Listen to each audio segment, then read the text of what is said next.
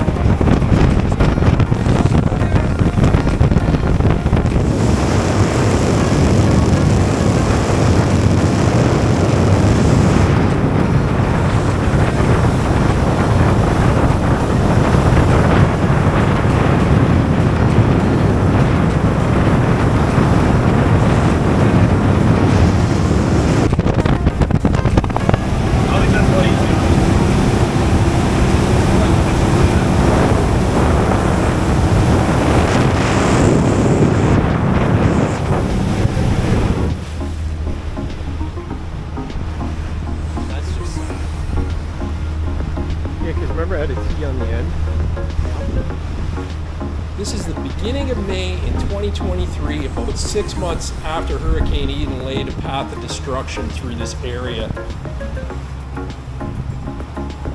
Nice to see that place Still hang together though. Yeah, we'll be good all the way in. Yeah, This big yacht. brand new rebuilt. It is for sure. It's looking really good. Definitely looks different though. Cause didn't it have a whole beachfront with like chairs on it and stuff before too? Oh yeah, it had a great big trees and all chair at it, right? Well, that that chair was on.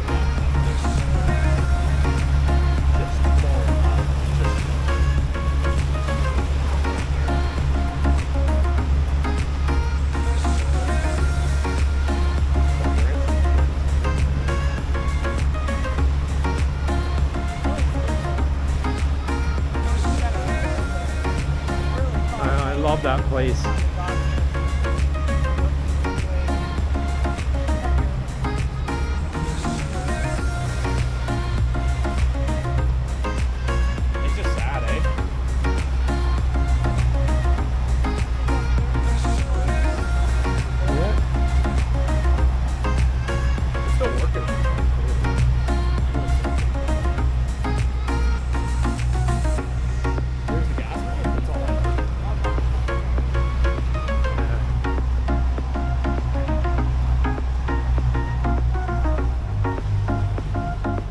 That's like, we can turn around. Yeah, you can turn around here. Oh, there's a boat still underwater over there.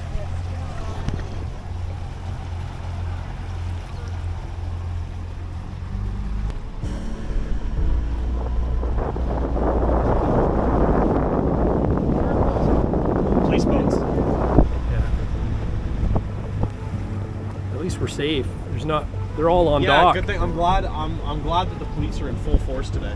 That's why we haven't seen any out in the water.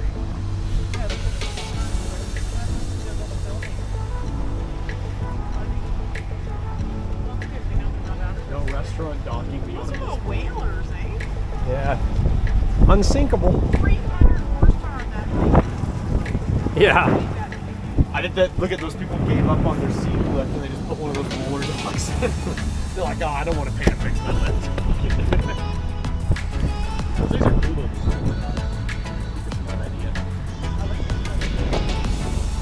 Looks like it's leaned over a little bit. You see these little tweaks. Yeah,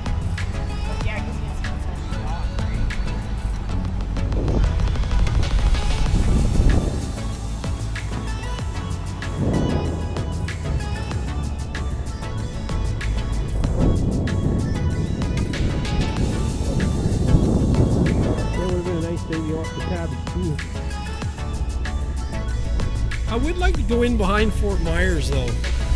Just there's a little Oh, you mean? yeah. What do you think that is? Sand? Like is that a sandbar? That's the beach. That's a beach.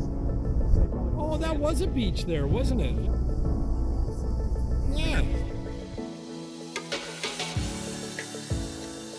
The first response you get on this is how sad this this looks. Actually, I'm kind of optimistic. I'm really impressed with how it's like a this little- community's come together and rebuilt this area. Yeah, there's a lot of construction still going on, but I'm seeing a lot of really awesome progress. This Boathouse Tiki Bar is just about to reopen. I've even seen them looking for staff to reopen this establishment on social media.